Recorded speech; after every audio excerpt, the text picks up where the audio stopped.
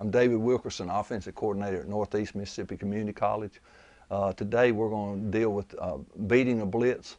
And uh, in today's society with the spread offense, uh, the blitz, handling the blitz is what's so important. Uh, there's some different ways that we're going to talk about handling the blitz.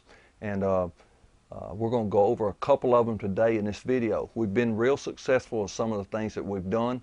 And also, we're going to cover them and show, explain them to and explain them to you and show them to you where they're easy to understand, where hopefully you, you can get something and uh, it will be successful for you and your program.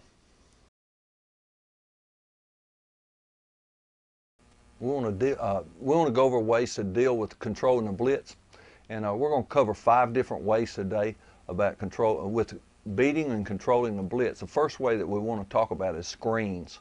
Uh, uh, we, we feel that screens are real important of our offense, a real important part of our offense. And uh, I have a reputation in our league of throwing screens on any down. Uh, uh, we run screen back screens, we run inside receiver screens, we run tunnel screens, we run outside outside receiver screens, and um, but with and also bubble screens. So we have screens to every all five uh, uh, of our receivers, and and the rep reputation that I have uh, precedes what we're uh, trying to talk about because um, uh, we run them on every down. Any down dictates uh, screen screen pass. First, second, second or third down, down and distance does not matter. Number two type that we want to talk about today is uh, moving the pocket. sprint protection, moving the pocket either left or right with our slide protection. Number three, uh, max protect uh, which is seven-man protection. Uh, defense usually brings five or six. Uh, if you have seven-man protection and you set your protection uh, protection, then you can uh, then you can handle a blitz. the fourth fourth type is a option. If you run, we run two types of option: speed option and zone option. And depending on what the defense does, is depends on what type we run. Uh, but if you get inside blitz, the option's a, uh, a great counter for that. Then the, the uh, fifth type is freezing, which is uh, holding the snap count, letting the defense dictate or show you where the blitz is coming from, and then we try to call a play to uh, usually a screen uh, where the where that blitz is, where they're showing us where the blitz is coming from back at that at, at that blitz.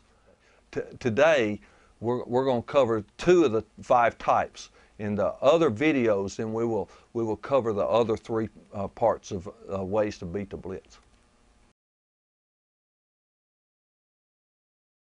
Today I want to talk about uh, a way to beat the blitz is moving the pocket, which is our 80 game or our sprint game. Uh, if you get inside blitz from Mike or if you get Will off the edge, what we want to do is try to move our pocket and try to get our quarterback outside. Then we tag routes with our receivers. Uh, our, our protection, our protection on our sprint game, uh, we make a, a, left or right call, and then all he does, the, the play side guard uh, blocks stay square and blocks the gap to his right.